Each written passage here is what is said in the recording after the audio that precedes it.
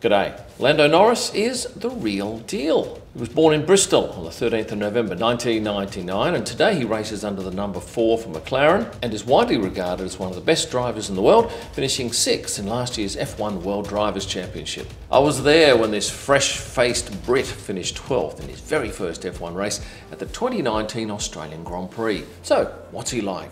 Well, I find him in the paddock to be great fun. There I see a young man enjoying the thrill of driving the world's best cars.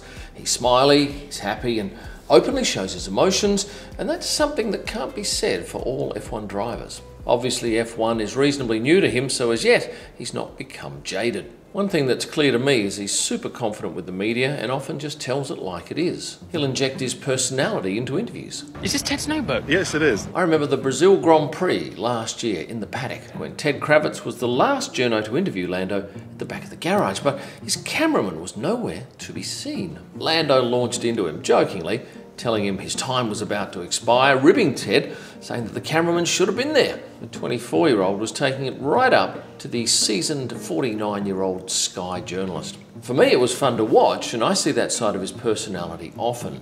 What's he like with fans?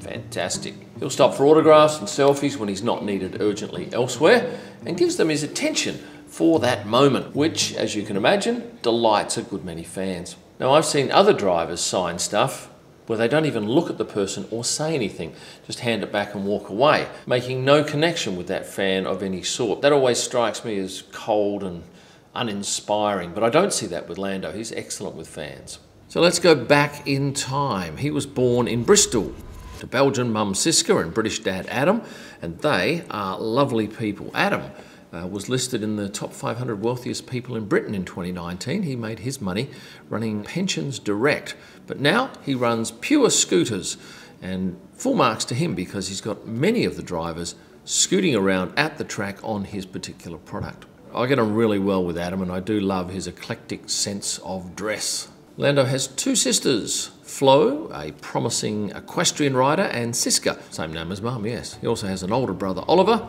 who is married with a child, making Lando an uncle. So, where did Lando develop his passion for motorsport? Well, it goes back to 2008 when he finished 35th in the Super One National Championship. He raced karts until 2014, finishing in the top three in 10 different categories. From 2014 to 18, he competed in no less than 16 different series, achieving five series wins, including the FIA Formula 3 European Championship in 2017, and in 2018 he was runner up to George Russell in the F2 Championship. I took this pic on Media Day prior to that final race in Abu Dhabi. But that wasn't the first pic I took of him. Uh, this was it, going back to Media Day 2018 Japanese GP, where he did an FP1 session in the McLaren the following day. So, how did he go in his rookie year 2019? He scored his first points in Bahrain, a sixth. His first podium in Austria came in 2020 during COVID. The following year, he had four podiums Imola, Monza, Monaco, and Austria in the points for the first 10 races before his Hungarian GP crash, and he only dipped out on scoring points that year in two races Hungary and Spa. If you followed Lando for all of his F1 time, you'll know that there was quite an infatuation with the media, him, and milk. That came from one mention in a WTF1 video. A lot of milk, because I love milk. But that milk reference just doesn't come up anymore. Like a lot of the F1 drivers, he moved to Monaco and is good mates with fellow Monaco residents, Max Verstappen and George Russell. But what does he drive away from the track? Well, last year he took delivery of this custom built McLaren 765 LT Spider. He recently sold a 72 Fiat 500 Jolly at auction. That was the first car he ever bought with his own money. And what's his dream car? A Pagani Zonda. What are his other passions? Well, he loves luxury watches, and I know he has to wear a Richard Mille at the track, but away from the track, he can wear what he wants, and he has a sizable collection. And then, of course, there's golf. He played in the Netflix Cup recently, just before the Vegas Grand Prix. He's certainly no scratch handicapper, and over the last six months or so, he's mentioned that he hasn't really played a lot of golf. I guess you can't do a video about Lando unless you mention Carlando. And that relationship has been huge on social media. Carlos, who's five years older than Lando, was his teammate in 2019 and 2020. It's unusual for teammates to be so close, and I guess Carlos, being five years older than him, was somewhat of a mentor to his younger teammate. And even when Carlos left McLaren for Ferrari in 2021, the pair were still close. And I remember this encounter at the start of the 2021 season. It was pre season testing, and the pair arrived at exactly the same time, with Carlos taking the opportunity of ribbing his old teammate. As an F1 photographer, I can tell you that the pics of the pair of them are always in demand by my Insta and YouTube audience. It's a genuine friendship that certainly extends past team boundaries. Have a look at these two pictures. They were taken in Japan, and just outside the paddock was a wall of pictures of drivers and the pair took an opportunity to deface each other's print. And what does Lando's signature look like? This is it. Lando's good mates with Dutch DJ Martin Garrix, but does he party? Rarely is the answer. He's got some uh, pretty solid people around him to keep him focused and grounded, and I'm talking about his management, uh, Mark Berryman from Ad Management, a fellow Brit who was appointed by Lando's family many years ago to, to look after him, and his trainer is another Brit, John Malvin, who runs Pioneered Athletic Performance. He's been at Lando's side for a good many years too. His first girlfriend was Luisa Oliveira from Portugal. I first met, when did I first meet her? It was uh, at post-season testing in 2021, although they were a little bit coy about that. But my social media audience couldn't get enough pics of the pair. Some of my biggest posts of 2022 featured them, and this is the last picture I shot of the pair in Hungary 2022. After that, they parted ways and he's not been seen in the company of any other female in the paddock since. On the social media front, he's big on Instagram. 7.3 million fans on his main account, but did you know he has a secondary account? Yes, LN4, which is a bit more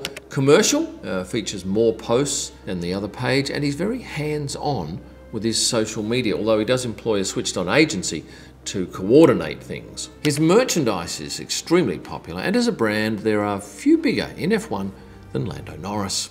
Not all drivers walk the tracks, but certainly Lando does, and while he probably doesn't need it, especially to learn about the track, it's more quality time to spend with his engineers. And here are two of the people that he's closest with in the team Jose Manuel Lopez Garcia and Will Joseph.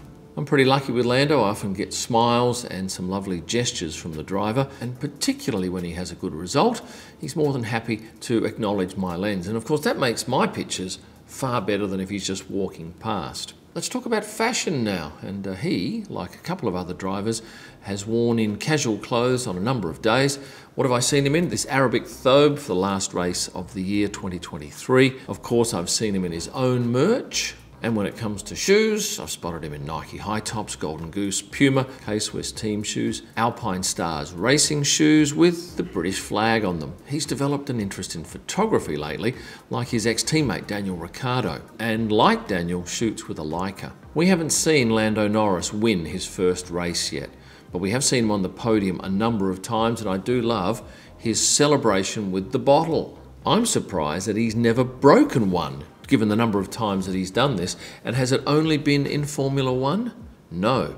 He used to do it in F2 as well. Going back to the Azerbaijan Grand Prix of last year, I was quite surprised when he walked in after a, a couple of weeks' break with a goatee. And throughout the year, he was spotted with varying degrees of beard and moustache. What is his height?